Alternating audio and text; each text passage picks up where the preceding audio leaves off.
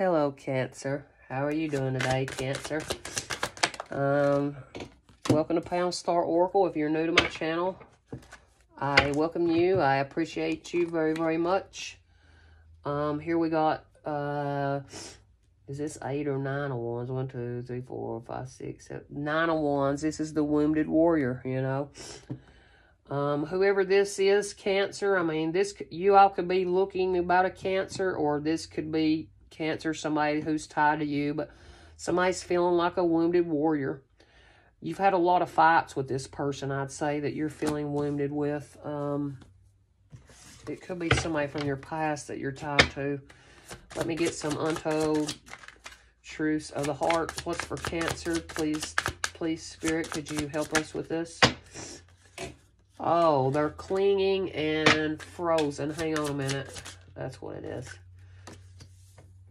All right, so uh, they feel like clinging. They're they're clinging and holding on, obsessive. They're obsessively 111. They're obsessively watching you, Cancer. Whoever it is, they can't stop holding on to your energy. They can't. They just got to keep holding on dearly. This wounded person.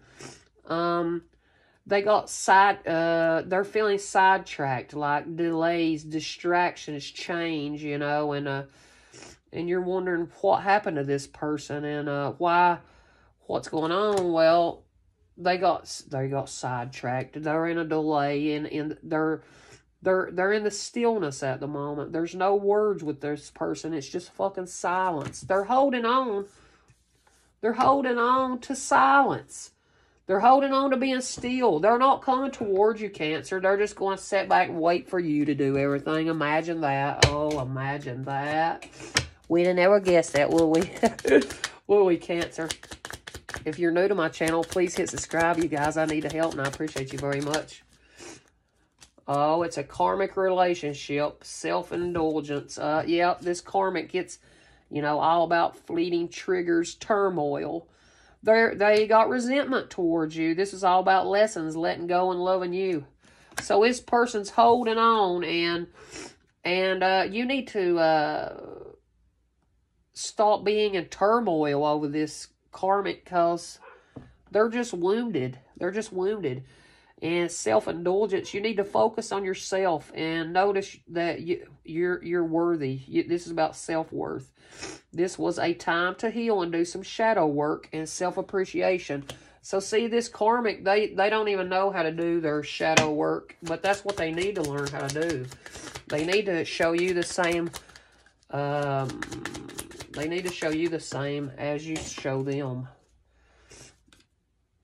Oh, they they tried to stab you in. They they stabbed you in the back. Heartbreak, pain, separation, deception, shocking attack. So they're holding on to all this fighting and conflict that you all had, and and that's why they're they're being still at the moment.